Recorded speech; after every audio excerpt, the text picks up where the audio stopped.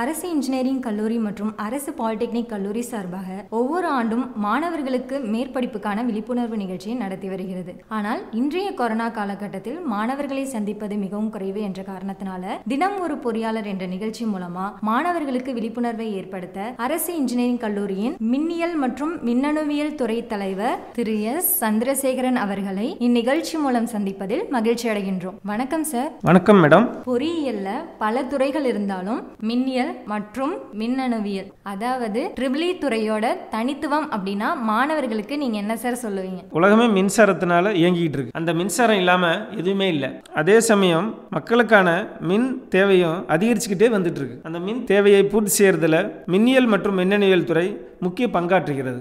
Renewal எனர்ஜின்னு சொல்லக்கூடிய சூரிய மின்சக்தியும் காற்றாலை மின்சக்தியும் நமது நவீன உலகத்தை அடுத்த பரிமாணத்துக்கு கொண்டு போகுதுன்னு தான் நம்ம சொல்லணும். இந்த மின்சாரத்துறைங்கிறது இந்த அறிவியல் உலகத்தோட வரப்பிரசாதம் தான் சொல்லணும். நமது அரசு பொறியியல் கல்லூரியில் நேஷனல் போர்ட் ஆஃப் அக்ரிடேஷன் என்ற தேசிய தரச்சான்று பெற்று அண்ணா பல்கலைக்கழகத்துடன் இணைந்து நமது அரசு பொறியியல் கல்லூரியில் மின்னியல் மற்றும் மின்னணுவியல் துறையில் சிறப்பாக நடத்தப்பட்டு வருகிறது. அரசு இன்ஜினியரிங் காலேஜில் மின்னியல் மற்றும் மின்னணுவியல் துறை ரொம்பவே சிறப்பாக இயங்கிட்டு வருது அப்படின்னு சொல்லிட்டீங்க. ஓகே சார் ஒரு திறமையான மின்னியல் மற்றும் மின்னணுவியல் பொறியாளராக மாற கண்டிப்பாக ஒரு சிறப்பு பயிற்சி அவசியம். அப்போ அந்த துறை சார்ந்த மாணவர்களுக்கு எந்த மாதிரியான சிறப்பு பயிற்சிகள்லாம் கொடுத்துட்டு வரீங்க சார்? மாணவர்களின் திறனை மேம்படுத்த project exhibition guest lecture seminar போன்ற போட்டிகள் நேரடியாகவும் இணையதளம் மூலமாகவும் நடத்தப்பட்டு வருகிறது.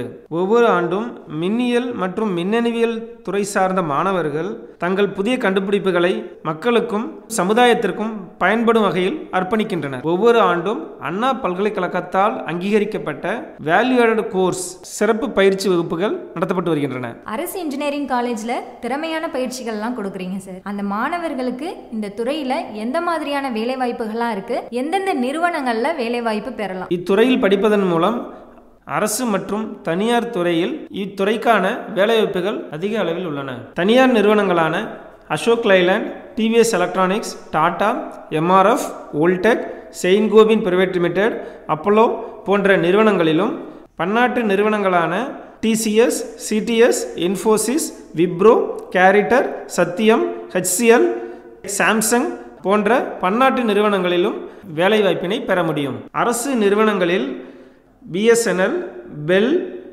Coal India SAIL ONGC Hindustan Petroleum Corporation Bharat Petroleum Corporation Power Grid Corporation போன்ற நிறுவனங்களில் இதை தவிர All India Radio Air India transport DRDO ISRO railway மற்றும் அனைத்து பவர் பிளான்ட்களிலும் இத்துறைக்கான பணிகள் அதிக அளவில் உள்ளது. இந்த துறை சார்ந்த மாணவர்கள் சுய தொழில் செய்வதற்கான வாய்ப்பு எதுவும் இருக்கா சார் இது ஒரு நல்ல கேள்வி மேடம் அது. மின் மோட்டார் உற்பத்தி ஹை வோல்டேஜ் பிரேக்கர் உற்பத்தி ரோபோட்டிக் மாடல் உற்பத்தி மின்சார உபகரணங்கள் சோதனை செய்வது அன்றாட வாழ்விற்கு தேவைப்படும் அனைத்து மின்சாதன பொருட்கள் உற்பத்தி மருத்துவ உபகரணங்கள் உற்பத்தி அலுவலகத்திற்கு தேவையான கம்ப்யூட்டர் பிளாட்டர் பிரிண்டர் மெஷின் போன்ற சாதனங்கள் உற்பத்தி குழந்தைகளுக்கான யூபிஎஸ் அசம்பிளி தொழிற்சாலைகளுக்கு தேவையான பொருட்களை உற்பத்தி செய்து வழங்குதல் போன்ற சுயதொழில்களில் ஈடுபடலாம். அரசு இன்ஜினியரிங் கல்லூரியில் மின்னியல் மற்றும் மின்னணுவியல் துறையில் மாணவர்கள் சேரணும்னு விருப்பப்பட்டா யாரை சார் நேரடியாக தொடர்பு கொள்ளலாம்? இத்துறைக்கான சேர்க்கை நமது அரசு இன்ஜினியரிங் கல்லூரி வளாகத்தில் மட்டுமே நடைபெற்று கொண்டிருக்கிறது. மேலும் தொடர்பு கொள்ள வேண்டிய தொலைபேசி எண்கள் ஏழு ஆறு ஆறு ஏழு ஒன்பது ஒன்பது மூன்று மூன்று மூன்று மூன்று மற்றும் ஏழு ஆறு ஆறு ஏழு மூன்று மூன்று ஒன்று ஒன்று ஒன்று ஒன்று. நன்றி வணக்கம்.